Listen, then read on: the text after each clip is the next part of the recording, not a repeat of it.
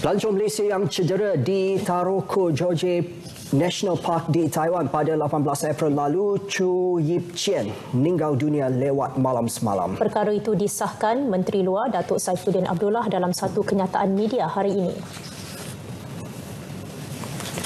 Menurut Datuk Saifuddin, beliau telah bercakap kepada uh, dengan anggota keluarga Chu bagi menyampaikan ucapan takziah dan simpati.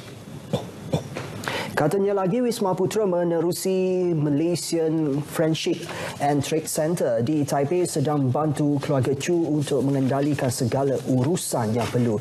Beliau berkata Kementerian Luar meminta media dan orang ramai agar menjaga perasaan anggota keluarga berkenaan pada saat-saat melalui ujian ini. Dan menurut laporan Chu sedang melakukan aktiviti kembara di Lu Shui Trail di Taroko National Park di Hualien bila daerah itu mengalami gempa dengan kekuatan kekuatan magnitude 6.1.